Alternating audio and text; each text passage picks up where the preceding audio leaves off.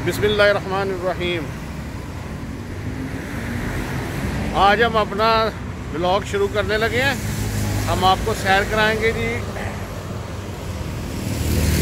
M R T की, जो Thailand की अंडरग्राउंड ट्रेन है ना। हम आज आए हैं उसके स्टेशन पे। तो आज हम आपको सैर करवाएँगे टी की। बैंकॉक के, ये देखें, अभी ये कोरोना की वजह से बिल्कुल छुट्टियाँ चल रही हैं। कुछ अदारे बंद हैं, कुछ अदारे खुले हैं, लेकिन उसके बावजूद आप ट्रैफ़िक का आलम देखें। अभी ये ट्रैफ़िक का टाइम शुरू हुआ है, चार बज के कुछ, चार से ऊपर टाइम हो गया तो आस्ता आस्ता ये बढ़ता जाएगा। तो इस टाइम में टैक्सी वगैरह में सफ़र करना बहुत ज़्यादा मुश्किल होता है। तो इसके लिए जो बेस्ट वे है, वो है आप ट्रेन से सफ़र करें। ये देख ले जी। ये कंडीशन है। ट्रैफ़िक की। और अभी बिल्कुल नॉर्मल है। लेकिन आस्ता आस्ता जैसे टाइम बढ़ता जाएगा, और इसका जो है ना रश बढ़ता जाएगा। अब अब मैं आपको लेके जा रहा हूँ। ये M I R T station है। ये देखें जी। ये क्लोंगतो है। ये उस जगह पे ये स्टेशन है। ये देखिए। हो सकता है थोड़ा आपको धूप की वजह से देखने में मुश्किल हो।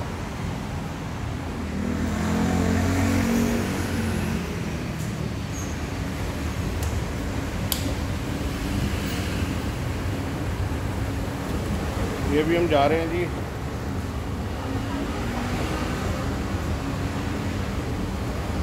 एमआरटी स्टेशन पे जा रहे हैं। ये अंडरग्राउंड है।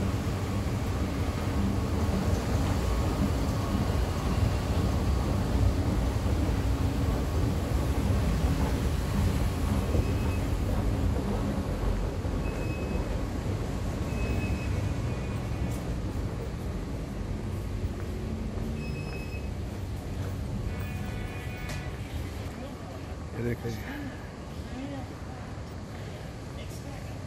ये सही।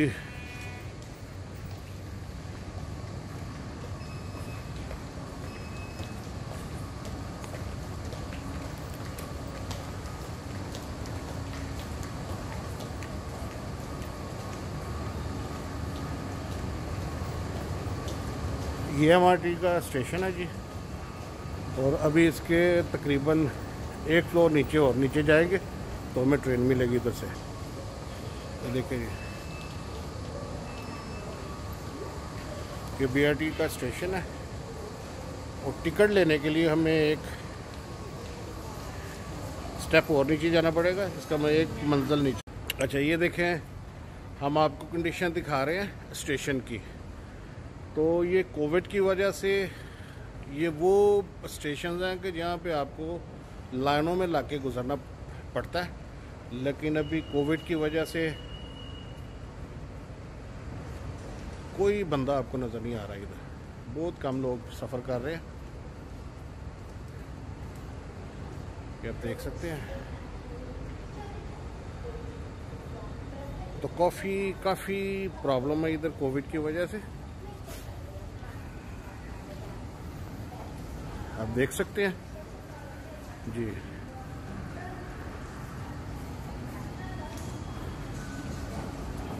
अभी हम ट्रेन की तरफ़ जा रहे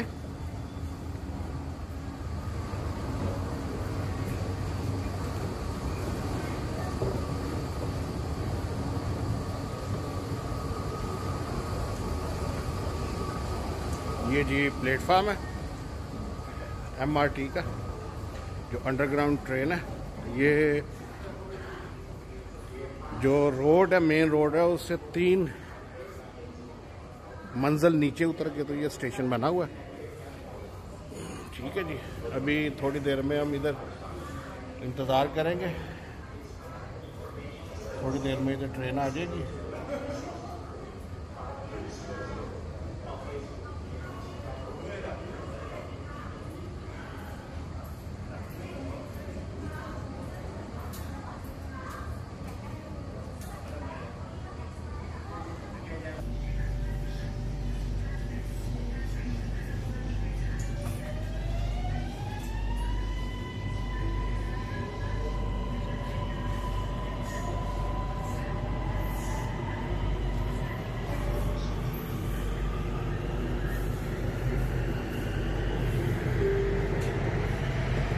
ทีต่อไป สถานีลุมพินีประตูรถจะเปิดทางด้านซ้าย Next station ये जी हम अभी ट्रेन से निकले हैं बाय ये देखिए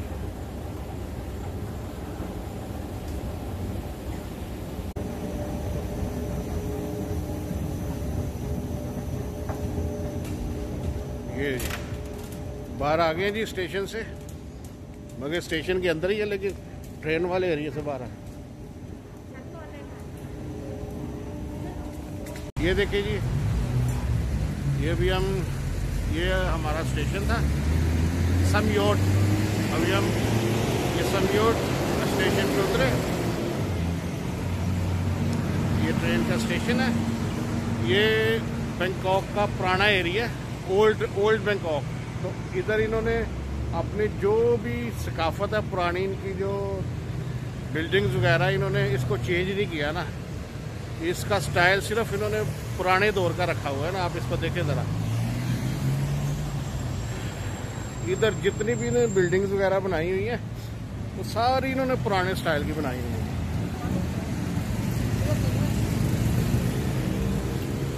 देख लिया इवन चेक कीजिएगा आप, ये बिल्डिंग इन्होंने, जो स्टेशन बिल्डिंग है, ये सारी पुरानी टाइप की इन्होंने रखी हुई है। इसका स्ट्रक्चर सारा